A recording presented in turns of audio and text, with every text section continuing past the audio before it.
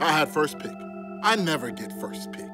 But precisely at that moment was when my battery died, along with my dreams of ever being fantasy champion.